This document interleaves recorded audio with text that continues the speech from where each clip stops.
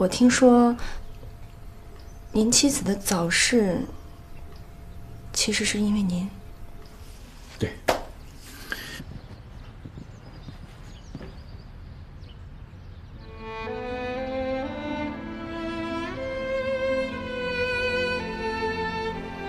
蒋总，这这里是？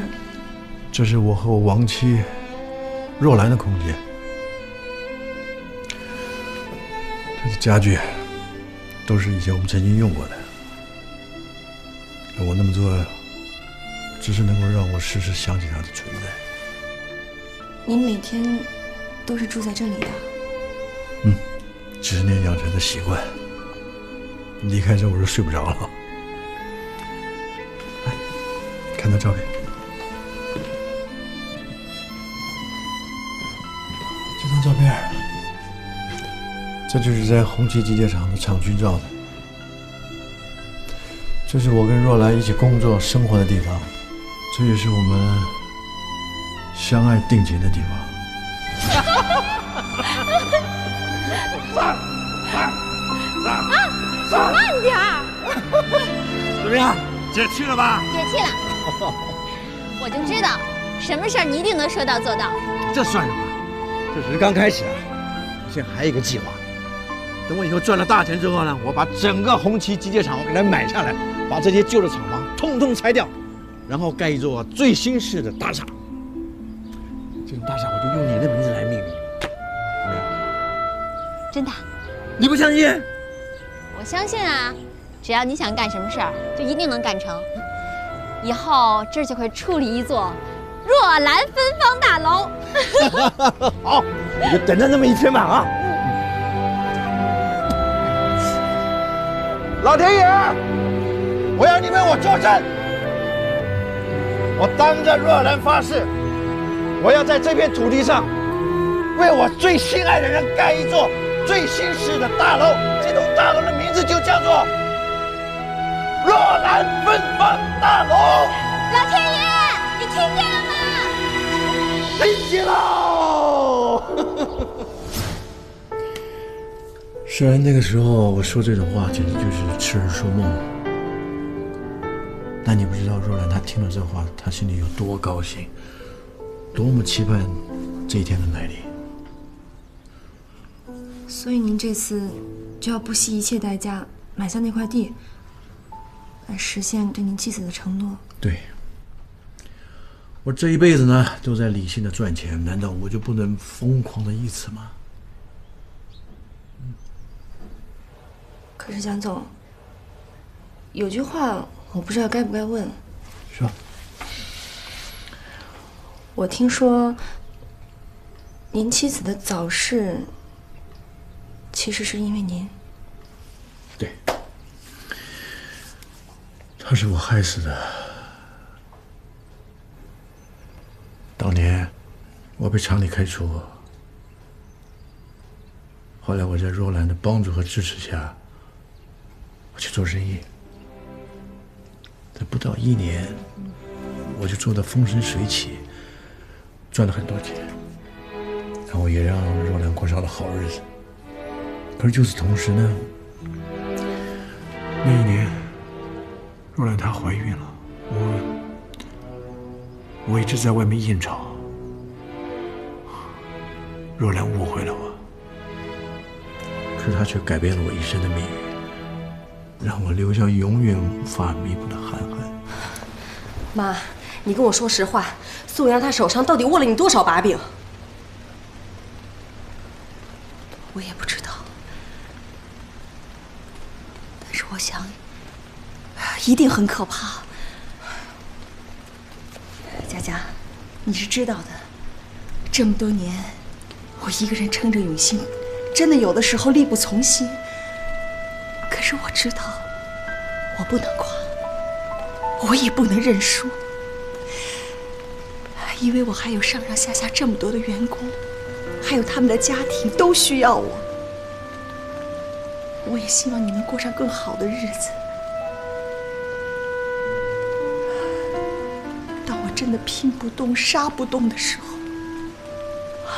我真的只想走一条危险的捷径。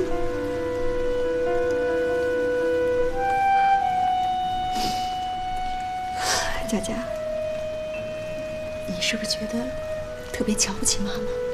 怎么会呢？你是我在这个世界上最爱的人。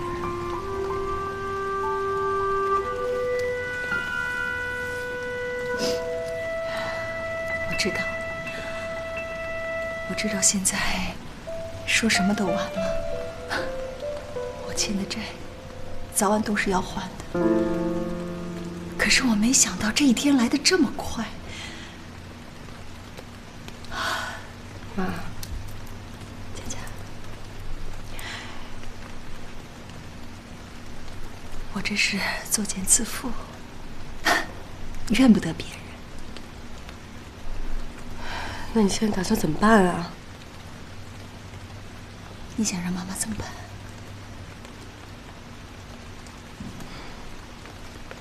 我想还安宁一个清白，否则我这一辈子都会良心不安的。宋阳他手上握着你的把柄，他随时都会用这些把柄威胁你，威胁我们永新。我不想让宋阳一点一点的啄食我们永新，那都是你辛辛苦苦建立起来的，妈。所以妈，你去自首吧。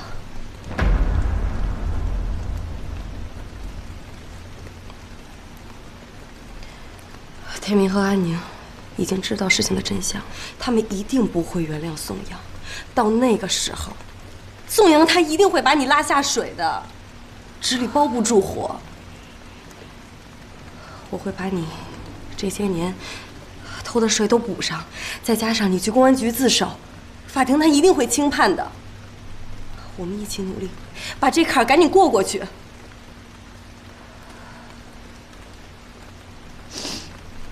佳佳，如果把永兴交给你，你一个人行吗？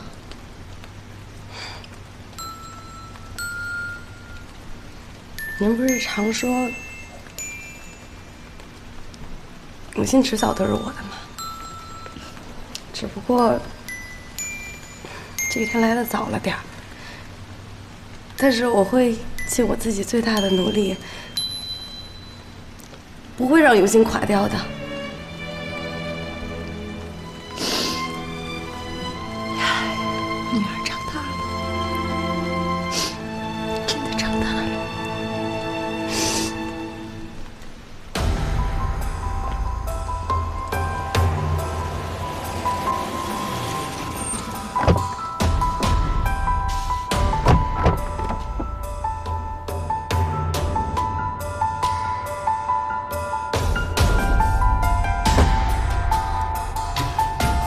石总，欢迎欢迎啊！我想经过这段时间的冷静考虑呢，石总肯定很明白我们彼此之间的想法，那就预祝我们谈判顺利吧。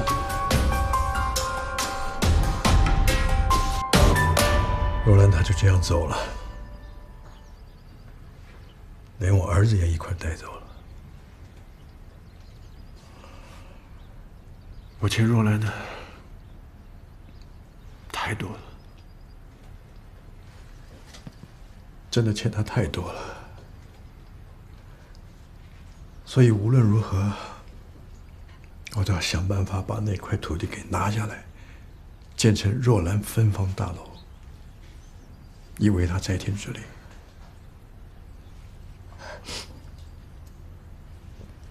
真没想到，您这么爱您妻子啊！其实您应该早点告诉我们的，我，我跟天明都误会您了。这秘密埋藏在我心里几十年了。我原本根本不打算告诉任何人，可是现在在我身边的人，每一个人都误会我，都不理解我，都想说我为什么要花那么多钱，那么疯狂的要把那块地给拿下来。蒋总，您对您妻子的感情，我特别感动。可是，有时候对一个人的爱情，不一定非要用这种方式来纪念。您对这个承诺的执着，其实就是给自己打了一个心结。对于我这种没有亲人、没有没有子女的孤家寡人来说，信守一个承诺，在我生命里面比什么都重要。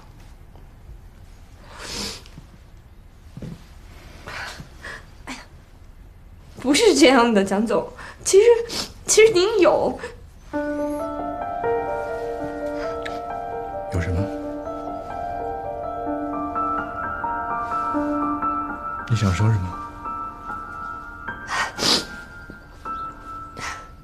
蒋总，你马上跟我去一趟天明家，我去天明家干什么？我有个非常重要的东西要给您看。看完之后，您就全明白了。这天明新买的房子啊，嗯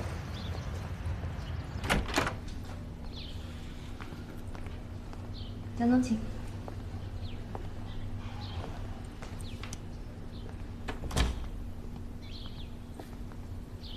房子不错啊。天明这小子有眼光。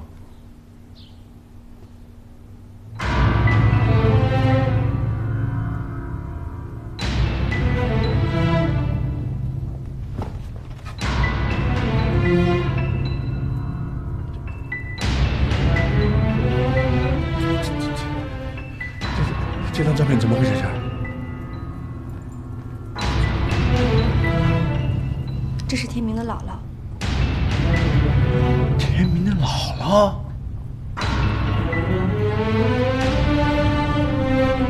那那他妈呢？天明的妈妈姓石，叫石若兰。